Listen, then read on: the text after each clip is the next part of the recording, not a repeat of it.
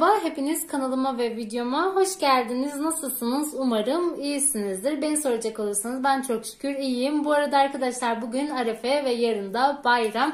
Ben de şöyle pazartesi, salıya bilmiyorum hangi gün koyarım. Video yetiştirmek istedim. Bugün sizlerle birlikte kavurmalı mayalı poğaça yapıyoruz. Bu arada kavurmalı da arkadaşlar şöyle ben aktüel olarak buldum. Bayağı bir uyguna buldum. 35 TL'ye buldum ki şu an en en en uygun fiyat bu şekilde. Hatta bugün bir tane daha alayım dedim. Son bir tane kalmıştı onu da ben aldım. O yüzden de şöyle güzel bir kavurmalı mayalı poğaça yapmak istedim. Ben böyle misafirlerimiz geldiğinde de onlara ikram etmek için. O zaman artık malzemelerimize hemen başlıyorum. Hamur için 1 paket instant maya, 1 su bardağı ılık su, 1 su bardağı ılık süt, 1 su bardağı sıvı yağ, 1 adet yumurta, 2 yemek kaşığı şeker, 2 tatlı kaşığı tuz ve aldığı kadar un. İçi için arkadaşlar söylediğim gibi ben bugün kavurma kullanıyorum. 1 pakete 100 gram, 2 pakete 200 gram. Üzeri için yumurta sarısı, çörek otu ve susam. O zaman hemen başlayalım. Bu arada arkadaşlar ben diğer malzemelerimizi çıkartmadım. Çünkü bir mayalanma süresi olacak. Şöyle 1 saat 45 dakika 1 saat kadar mayalandıracağım. O yüzden de diğer malzemelerimizi çıkartmadım.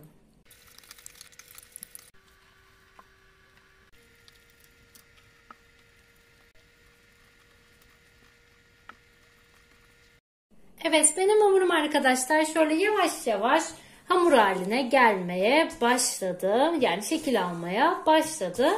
Şöyle biraz daha yoğuracağım. Sonrasında bahsettiğim gibi şöyle üzerini kapatacağım. 45 dakika 1 saat kadar mayalanmaya bırakacağım. Evet gördüğünüz gibi arkadaşlar ben poğaçamı da mayalanmaya bıraktım. Bu arada sizlere hemen baklavamı da göstermek istiyorum. Onu da şöyle biraz önce hazırladım. Ama nasıl olmuş arkadaşlar yorumlarınızı bekliyorum. İnşallah bu bayram çok güzel geçer. Evet biraz içimiz buruk. Yani çok da aslında söylenecek bir şey yok arkadaşlar. Hani ne kadar da desek işte hani inşallah çok güzel geçer ama tabii ki de öyle olmuyor. Çünkü biliyorsunuz ki zaten depremden dolayı insanın çok da bir tadı tuzu olmuyor. Ama şunu söylemek istiyorum arkadaşlar. Böyle sevdiklerimiz yanımızdayken onları daha kaybetmeden şöyle onları sıkı sıkı sarılalım. Onları çok ama çok sevdiğimizi söyleyelim ve her bayramımızın böyle sevdiklerimizin yanında olduğu yanında olup da böyle geçirdiğimiz her bayramımızın da kıymetini bilelim bence. O şekilde şimdiden de böyle bayramınızı kutlarım. Tabii ki de bu videom bayramdan sonra yayınlanacak. Ama olsun ben söylemek istedim. Çünkü yarın bayram arkadaşlar. Ben de bir kez daha sizleri çok ama çok sevdiğimi sizlere söylemek istiyorum. Sizleri görmesem de ben sizi çok ama çok seviyorum. O zaman artık daha fazla çok fazla çene çalmadan arkadaşlar çok fazla konuştuğumu biliyorum. E, mayalanmasını bekleyelim. Sonrasında hemen buradayım. Evet ben tekrardan geldim arkadaşlar. Bu arada poğaçamız mayalanana kadar ben fasulye yemeğimi yaptım. Sonrasında şöyle bir günlük turşu yaptım. Pilavımı da ocağa koydum. Bir gözüm de onlarda yani.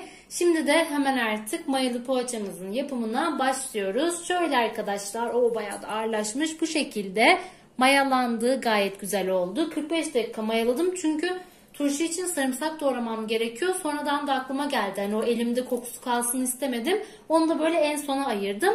Bundan sonra da hemen onun sarımsaklarını zaten doğrarım. O zaman artık yapımına başlıyoruz.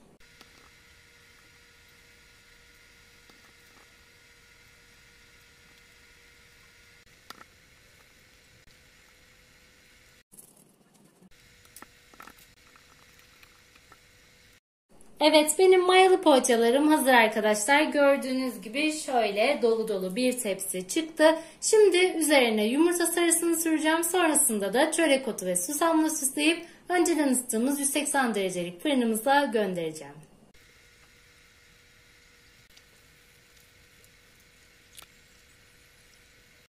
Evet söylediğim gibi arkadaşlar ben şöyle üzerine yumurta sarısı sürdüm. Bu arada yumurta yetmedi. Yani iki tane kullanmak zorunda kaldım. Çünkü bayağı bir küçüktü. Sonrasında yumurta sarısını sürdükten sonra çörek otuyla ve susamla da süsledim. Şöyle sizlere de göstereyim.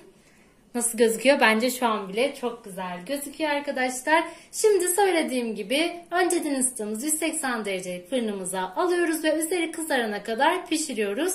Bu arada şunu da söylemek istiyorum. İsterseniz bu şekilde bir 15 dakika kadar da bekletebilirsiniz. Şöyle tepsi mayası da olur. Ama bugün benim maalesef ki acelem var. O yüzden direkt hemen fırına vermek zorundayım. Dediğim gibi sizin şöyle vaktiniz varsa da bu şekilde bir 15-20 dakika beklerse daha da puf puf ve çok da güzel oluyor arkadaşlar. O zaman bu güzellik hemen fırına gidiyor. Evet arkadaşlar kavurmalı mayalı poğaçamız fırından çıktı ve nar gibi de kızarmış. Gerçekten çok güzel olmuş. Şöyle sizlere de göstereyim. Bakın nasıl gözüküyorlar. Lütfen benimle yorumlarda da paylaşın. Şimdi şöyle daha yeni çıkarttım bu arada. Yani sıcaklığı hala daha var. Hatta şöyle bir şey oldu. Ben bunu çıkarttım arkadaşlar o sırada ezan okunuyordu. Sonrasında hani videomu sonra çekelim dedim.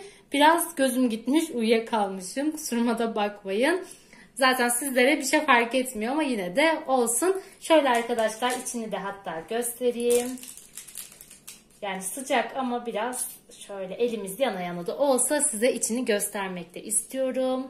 O kadar sıcak ki anlatamam. Şöyle arkadaşlar altı da güzelce kızarmış. Of bayağı sıcak. Bakın arkadaşlar şöyle içine. Şöyle göstereyim. Bu şekilde de göstereyim. Çok sıcak şu an. Böyle içini de zaten çekecek birazdan. O zaman artık videomuzu da kapatalım. Bu arada şöyle soğumuş halini de videomuzun sonuna muhakkak sizlere koyacağım.